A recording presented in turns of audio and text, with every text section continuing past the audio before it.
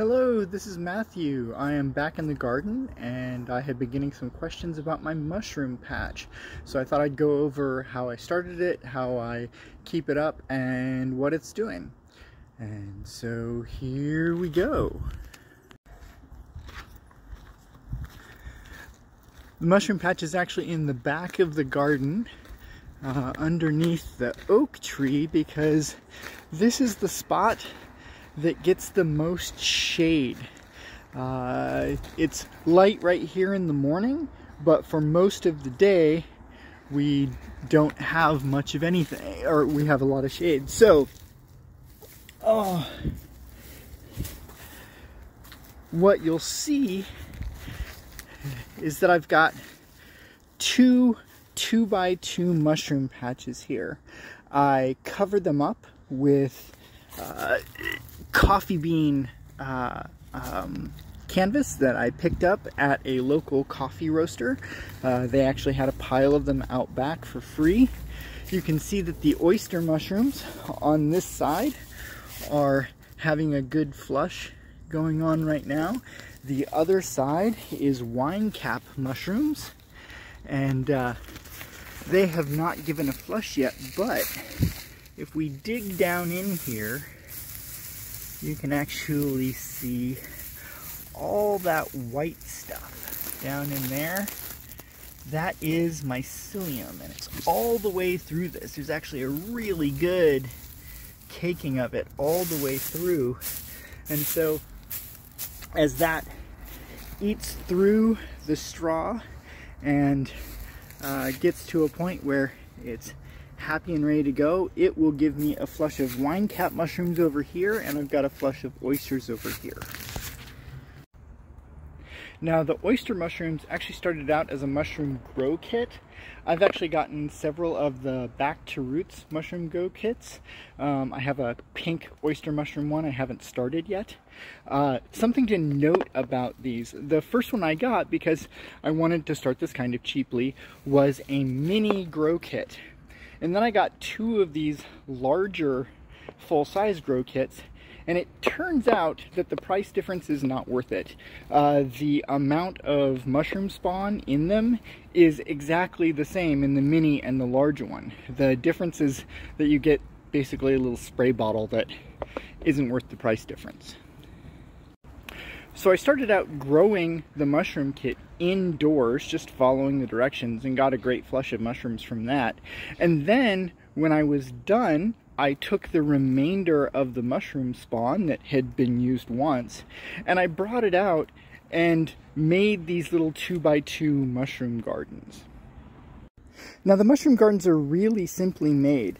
I went to a big box store and I picked up these uh, uh, concrete blocks that you can use for making quick garden stuff and some, uh, I think these are two by sixes and uh, just got uh, a couple eight foot lengths of, of two by sixes and cut them up and put this together literally in about 10 minutes.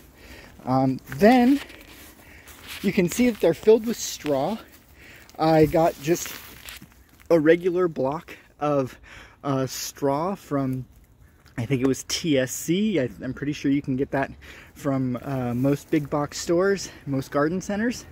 Um, I made sure to not get one that was uh, filled with gum arabic or anything to keep it sticky because uh, I wasn't sure how that was going to interact with the mushrooms so it's just basic straw put it in, I made sure to tap it down a little bit to make sure there was good contact uh, across. And when I was putting it in, what I ended up doing was layering. I put First I put down a layer of straw, then I crumbled up uh, mushroom spawn, and then put another layer of straw, another layer of mushroom spawn, so on, and basically did a lasagna uh, throughout the substrate then watered it. Uh, you keep it watered about the same as you keep the rest of the garden watered. Uh, about an inch of inch, inch and a half of water a week. What I ended up doing is because I keep it covered and it doesn't get a lot of sun, I will come and see whether or not the, the, the top layer is can be a little bit dried out, but really underneath, if it's moist, you're good. And if you keep it, uh, you know, reasonably moist, not wet, uh, eventually you will get little pins, little bits of mushroom coming up. And they will turn into full flushes of mushroom. This is actually our second flush of mushroom from the kit out here and then I had the one flush inside. So this has already given me uh, three sets of really good oyster mushrooms. I haven't quite got uh, any mushrooms out of the wine cap mushrooms yet but I expect that'll happen fairly soon since you saw how much the uh, substrate is, is filled with mycelium. You can see the same thing here. If we dig down a little bit there's that nice white mycelium all the way through the uh, uh, straw. When you pick the oyster mushrooms, they're, they're beautiful. They're nice big chunks of mushroom going on. I mean, this is larger than my hand.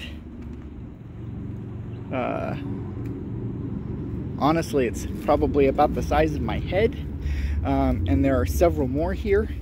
Uh, one thing to note is that there's these little bits at the bottom that uh, of basically the, the little bit of mushroom, you want to pick that off and then bury it back into the moist straw because that will again start growing uh, and spread that mycelium and uh, really keep your, your mushroom patch going.